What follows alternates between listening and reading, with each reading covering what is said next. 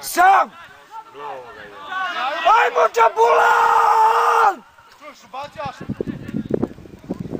Ti krv. Pa kako zapleteš te trske, jebem ti i trske i svemu jebem i futbal i boga i mesec i sve. Jebem ti igrača lopta mu pred nos, on ne preskače ko čorav dinar. Sam! Sam! Nije. Ajde mali! Dijane!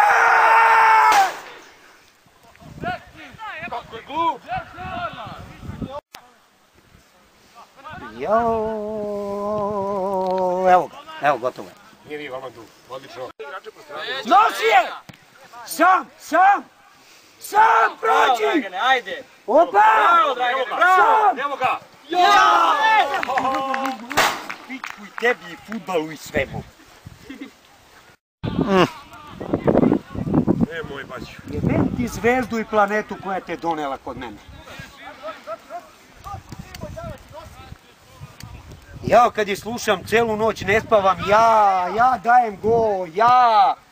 Ne znam, ne sve protiv nas. Tako ide, kad ne iskoristiš šanse u životu, Gotovo ide je, jebanje, takozvano.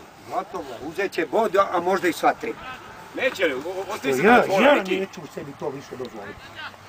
Ne igram kad je povoljan rezultat, ne igram bre. Što ja slušam nekoga? Još vremena. Bravo. Jo, bravo, vama, bravo, meni da se upije. Jebem ti futbal, ma neću više da radim to, bre, sedi kući, bolite kurac za radnički usran. Ovo odlično branio sad ovo.